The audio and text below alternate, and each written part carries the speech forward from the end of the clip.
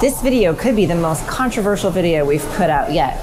So before you take that step of buying that brand new RV, you're gonna wanna watch this first. We are Charity, Ben, Dakota, and Trinity.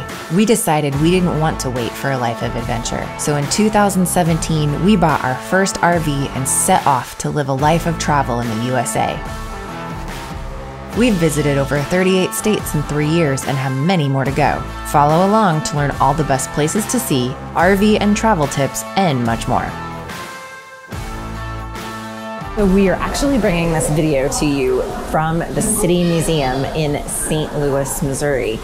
Part of the thing about living the RV life is being able to go different places and see different things. So if you're wondering what's going on, we're filming this at the City Museum in St. Louis, but we wanted to be able to share this very important information with you since so many of you and so many others are considering purchasing an RV right now before that the summer really gets going. Definitely not safe. When there's a Ferris wheel on the roof, then you know it's not safe. So what's the coolest thing to see here? What'd you say? Uh, go in the caves. The There's caves? a cave system Okay. in there that's original to the building. It's an old shoe factory. Okay. I can't What do you see? explain it. Like, what, like There's too much. too much? Too much. A lot of. Too much. Like, what would you say this is? ha- hazardous. Hazardous. I don't know. Or fun.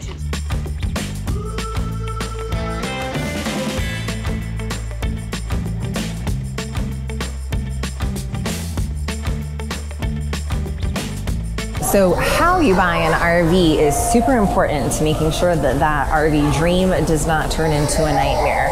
So, we're going to share with you five tips on how to buy an RV the right way. And tip number five is probably the most important. So, you're going to want to make sure that you watch until the end to be able to see all five tips. So, before we get into this video, I definitely have to give you the disclaimer that this reflects our personal values when it comes to personal finance. And that is a personal thing and a personal choice. So, as we give you these tips, remember this is a reflection of what we feel like is wisdom and what we have learned over the years. It may not be something that you agree with. So, let's agree to disagree if you choose to not agree.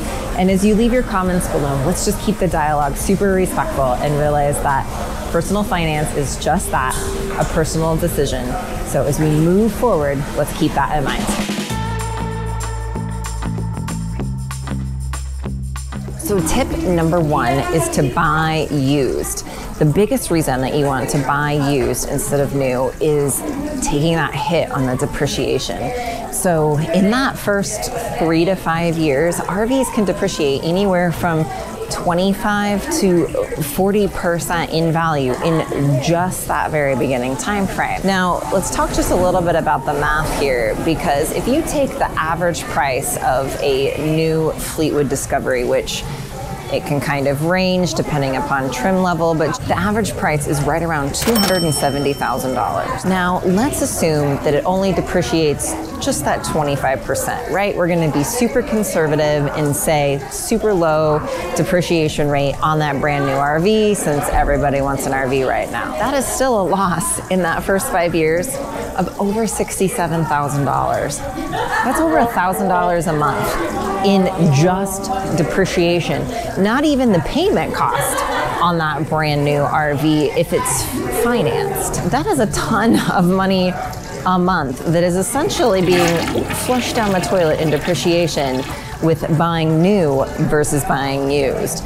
Now, both of the RVs that we have owned are 100% used, and we actually bought both of our RVs right around that 10 to 15 year age range where the percentage of depreciation had pretty much leveled out by the time we bought it. So we didn't take that big hit in depreciation.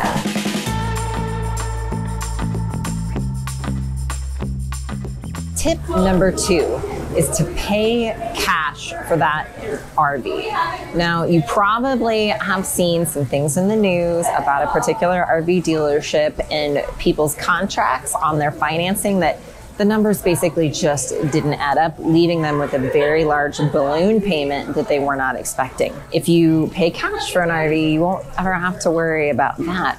let alone the fact that you've tied up so much of your financial resources in monthly payments. We are huge fans and believers of Dave Ramsey's baby steps. And one of those, of course, is to eliminate all consumer debt except for a mortgage on a house as quickly as possible. So, we personally do not think that it is wisdom to go into debt for any type of purchase for anything that has an engine or wheels because it's something that depreciates. You're not gaining value in that particular thing. So, definitely plan on paying cash up front don't go into debt for an RV, and you're going to set yourself up in a better position financially by doing so. So, tip number three don't be afraid to purchase something that maybe needs some renovation. This is actually a great way to buy an RV and really make it your own and make use of that space in a way that's going to serve you and your family best. We'll put a link above to the recent renovation that we did on our motorhome. But what we found was that by doing some renovation, we actually converted a space into a bunkhouse of sorts for our kids that wasn't that way from the factory, but renovating allowed us to really customize it and make it our own. Plus, our initial cost up front was very, very minimal. So, the last thing I want to say about renovation is that with our RV, what we paid for it and what we put into it with renovation and a few repairs that we've done over the few years that we've owned it, we are still in it for less than a quarter of the cost of buying new.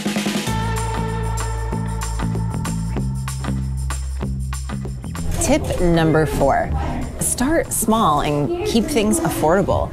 Even if that means maybe starting with just a pop up or a large tent, a travel trailer, just whatever that means for you and your family and your budget.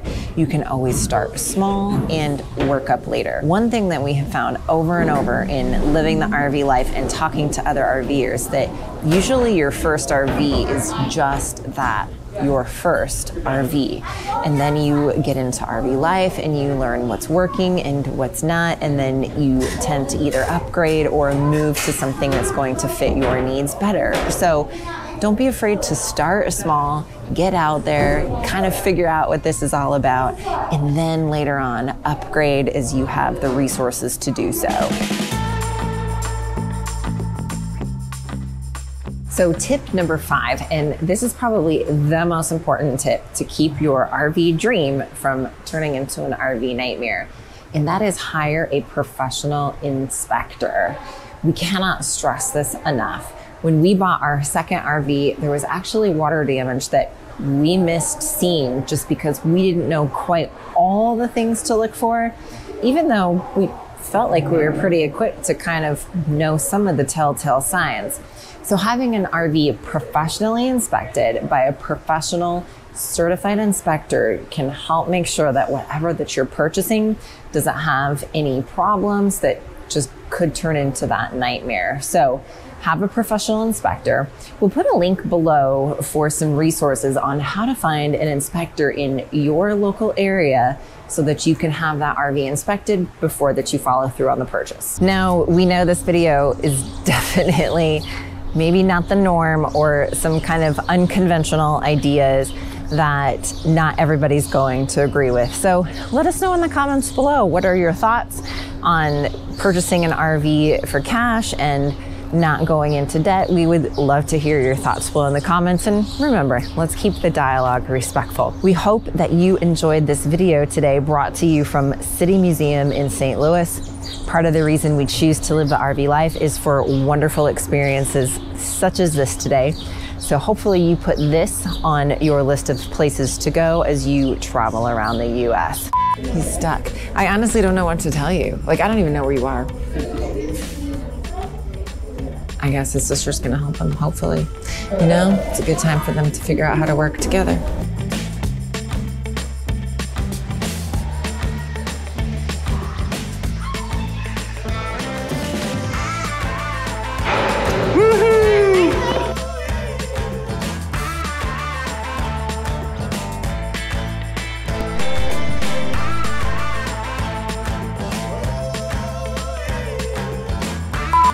Want to say a huge thank you to all of our Patreon supporters. Why? We want to say a huge thank you to all of our Patreon supporters. We are really appreciating your support.